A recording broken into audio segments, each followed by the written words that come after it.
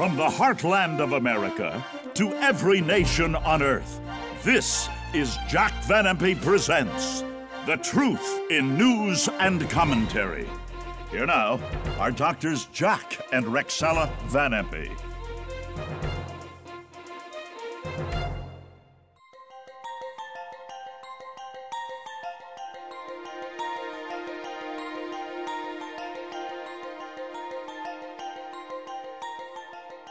Hello and welcome to Jack Van Impe Presents. As I said last week, this is our Easter program.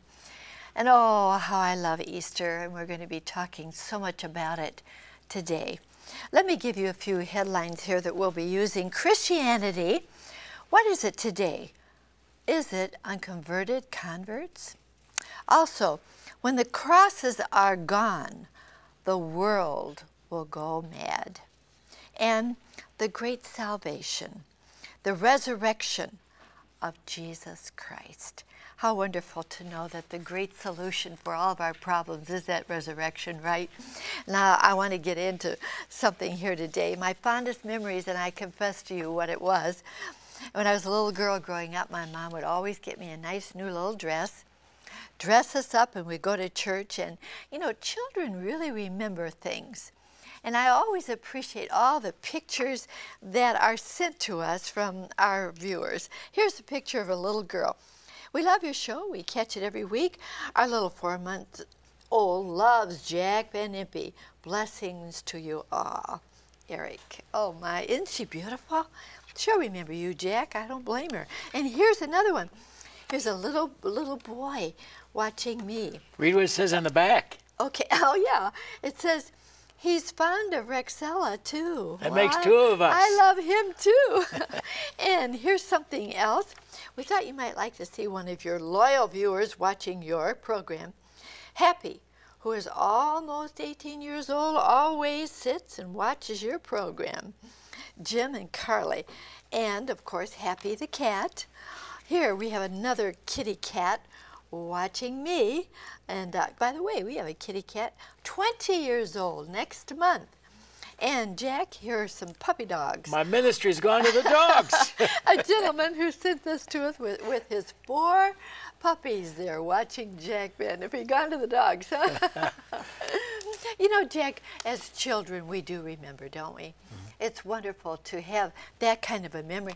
And you know what? It's good to get your children watching good things on yeah. TV.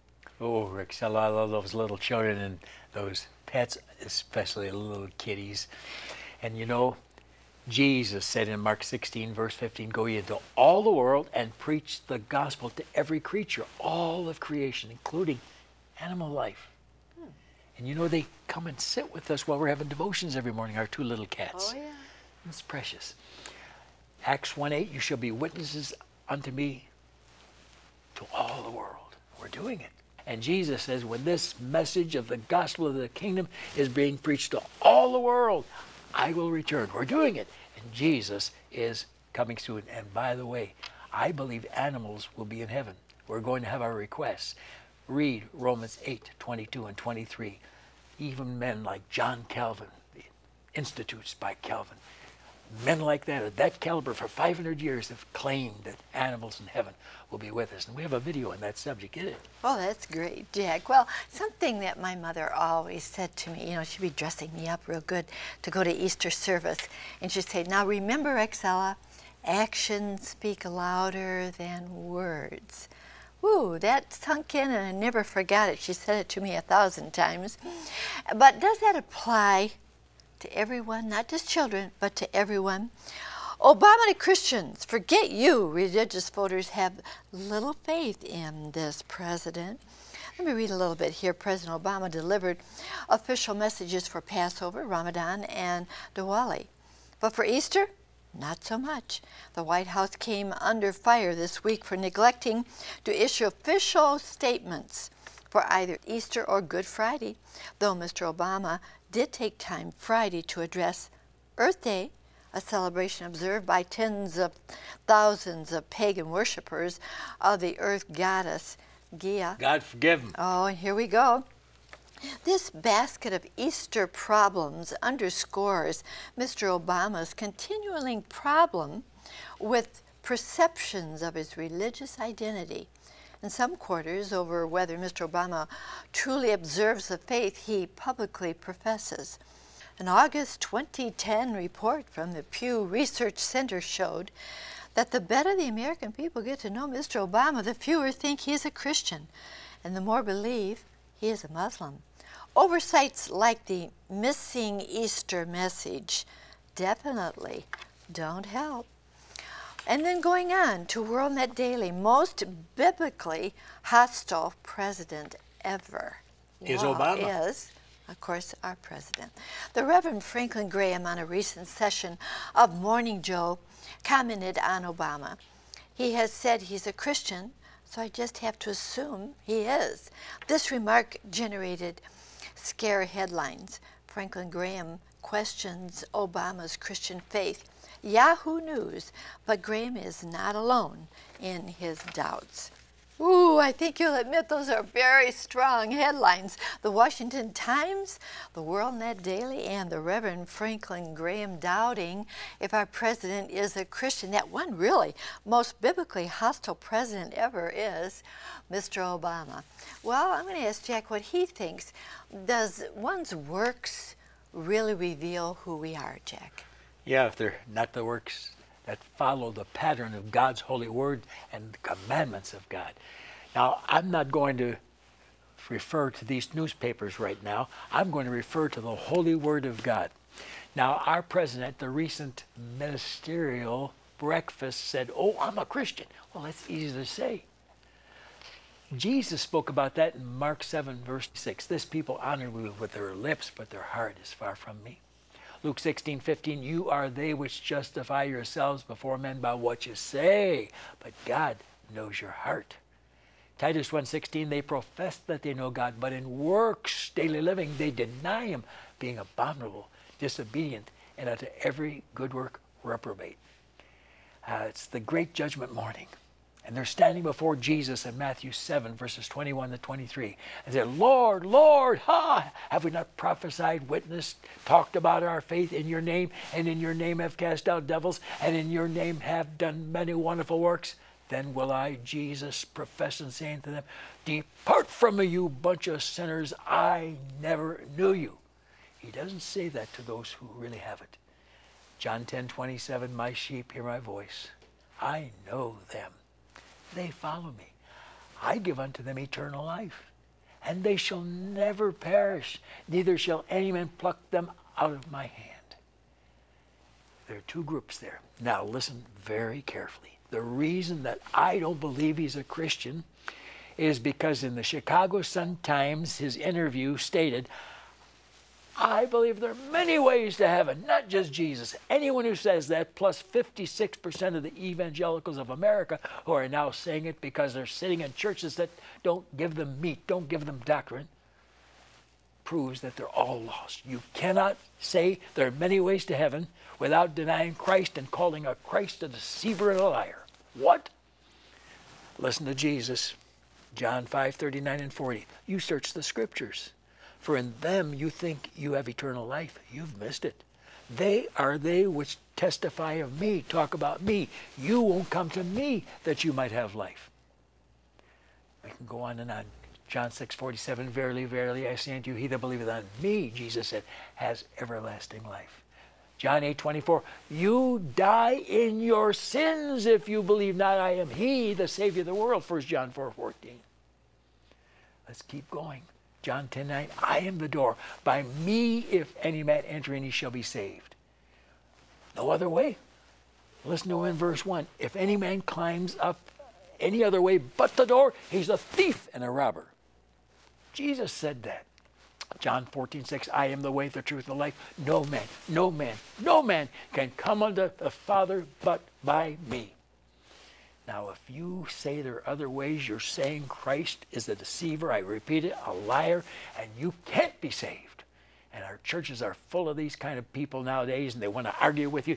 Stick to the Word of God. There's no other way but Jesus. 400 times it says so. 700 times it says without shedding of blood there is no remission of sins. Hebrews 9:22.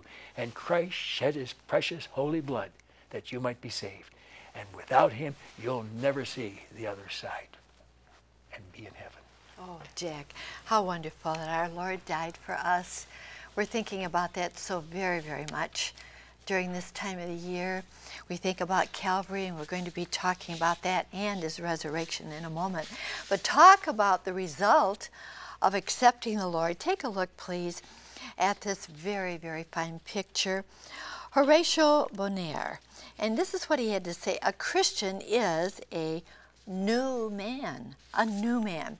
Well, somebody that became a very much a new man, the conversion of St. Paul. Now, this was painted by Michelangelo, of course, and oh, I love his works. Well, St. Paul became a saint really after that conversion because he was killing Christians before he accepted the Lord Jesus as his Savior. What a changed man he was now. I'm going to ask Jack, what are some of the signs of a new life, Jack? Well, first of all, when it's real, you're changed. We're raised to newness of life. Romans 6, verse 4. And Paul's the greatest example. Do you know that before his conversion, when he was on the Damascus Turnpike, he was out to get the Christians in Syria and kill them? It is estimated they had 500 Christians and the blood of those believers dripping from his fingers. And while he's on that road to go get more, there's a voice from heaven that says, Saul, Saul, why are you persecuting me? He said, Who are you? Who are you, Jesus? And he found the Lord that day. Was he changed? In 1 Timothy chapter 1, verses 12 to 16, he gives his testimony as to his wonderful conversion. I thank Christ Jesus our Lord who hath enabled me, for that he counted me faithful, putting me into the ministry, who was before a blasphemer, persecutor, injurious. I murdered hundreds of Christians. But in me first, Jesus Christ showed forth all long suffering for a pattern unto them which should hereafter believe on him to everlasting life. He said, When the Lord saved me, I was his eternal example and ensample, saying, If I can save this man who murdered my people, I can save anyone who will come to me. And I don't care what you've done, how often you've done it, how hideous, heinous your sin may appear at your own eyes. The blood of Jesus Christ, God's Son, cleanses from all sin. 1 John 1 7. Any kind of sin. 1 Corinthians chapter 6, verses 9 to 11. Know ye not that the unrighteous shall not inherit the kingdom of God? Be not deceived, neither fornicators, nor idolaters, nor adulterers, nor effeminate, nor abusers of themselves with mankind, nor thieves, nor covetous, nor drunkards, nor revilers, nor extortioners shall inherit the kingdom of God. But he doesn't stop there. He says, And such were some of you, but you're washed. They came to Jesus and washed through the precious blood. And if you'll do that later in this program, you'll be ready to meet the Lord. Can you imagine meeting somebody who's never heard about Easter? Well, you know what? Even Hollywood has entered in to give us a beautiful, some beautiful films, The Gospel According to Hollywood. And uh, they say that they appointed countless people to Christianity. Now, that pictures the King of Kings. It was done in 1927. Oh, so many other great. The greatest love story ever told. The greatest love story ever told. Now, you notice there, the gospel. What is the gospel? That's so very, very important, isn't it, Jay? This one who got converted on the Damascus Turnpike, the one who had killed Christians, is now saved. And he's talking to the Corinthian church. And in 1 Corinthians 15.1, he says, I declare unto you the gospel, the good news what is it, verses 3 and 4, that Christ died, he was buried, and he rose again the third day according to the scriptures. And Paul could say, I'm not ashamed of the gospel of Christ, for it is the power of God unto salvation. But there are many today who say, oh, there are other ways to heaven, along with our president, Oprah Winfrey, and the rest of that New Age crowd. And listen to what God says about that. If there's any other gospel than the death, burial, and resurrection of Jesus Christ, you're really in trouble. That goes for you 56% of the evangelical world now, too, that has put away the death, burial, and resurrection of Jesus as the only way. Galatians 1 8 and 9. Though we or an angel from heaven preach any other gospel unto you than the death, burial, and resurrection of Christ, let him be accursed. As we said before, so say I now again, if anyone preach any other gospel in the death, burial, and resurrection of Jesus, let him be accursed. Look it up in Webster's dictionary. Accursed means doomed, damned, and fried in the fire. You're in trouble with God. Mm, you know, when we were doing some pictures in Jack's office years ago, the one you're going to see right now on the screen. Oh, it's my favorite picture of the cross. The Lord is looking down on the world and he died for our sins. Oh, Jack, I think this is your favorite picture too but the cross. Have you leave it there so you can keep your eyes on Jesus instead of me. You know, next week I'm going to shock the world. I'm going to have another message on the cross in Easter. Do you know that all of these things can be found in the Old Testament of Judaism. That Christ is God, that he was born of a virgin, that he died on the cross, shedding his blood to save sinners, that he was raised from the dead, that he's coming again. It's all there. If you have a Jewish friend, you let him know. But let's look at this from a Jewish scripture right now Isaiah 53, beginning with verse 3. He was despised and rejected of men, a man of sorrows and acquainted with grief. And we hid, as it were, our faces from him. Surely he hath borne our grief and carried our sorrows. Yet we did esteem him stricken, smitten of God, and afflicted. He was wounded for our transgressions. He was bruised for our iniquities. The chastisement of our peace was upon him, and with his stripes we're healed. All we like sheep have gone astray. But he died for all of us. Look at that cross. Think about receiving him in a few moments from now. I'm going to go right on here with another picture. Ever in God's hands. Christ and the good thief who accepted him even while he was hanging by his side. Remember me, Lord, when you come into your kingdom. Jack, there's another Rexella, beautiful that's it. picture. Nine words. Preachers make it so hard for you to get to heaven. He said to Jesus, Lord, remember me when you come into your kingdom. Nine words, is that enough? Jesus said, Today you're going to be with me in paradise. When I pass, you'll pass with me. Oh, what a wonderful Jesus. Oh, and here's a, a young man who accepted the Lord. He was of the, the Islamic faith, Michael Youssef, and he has a PhD, and he's written this very fine book, When the Crosses Are Gone, Restoring Sanity to a World Gone Mad. This is what he had to say for America today. Decline is not a condition, decline is a choice.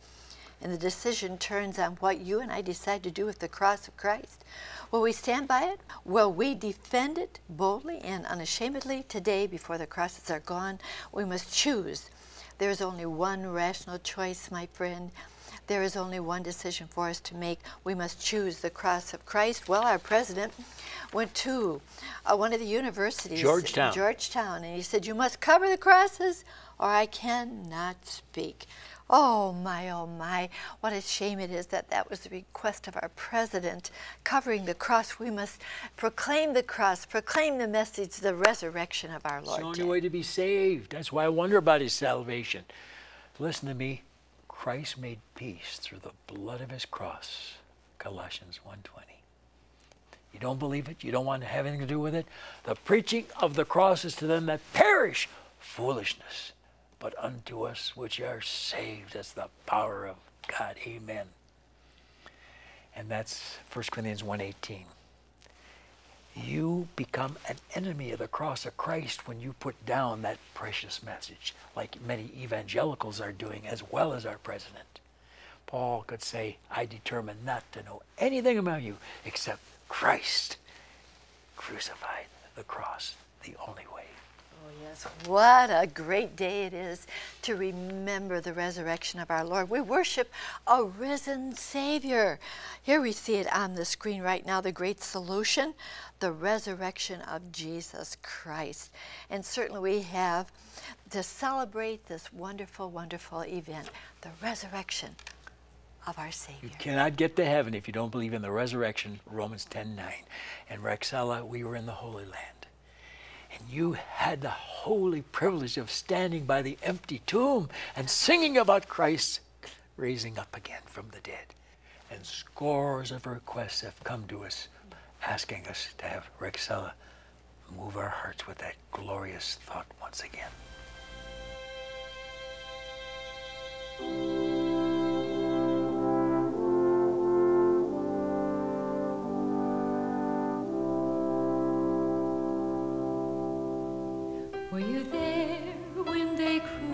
Crucified my?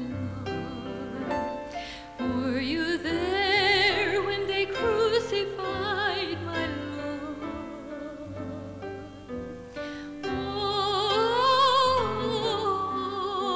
sometimes it causes me to tremble, tremble, tremble.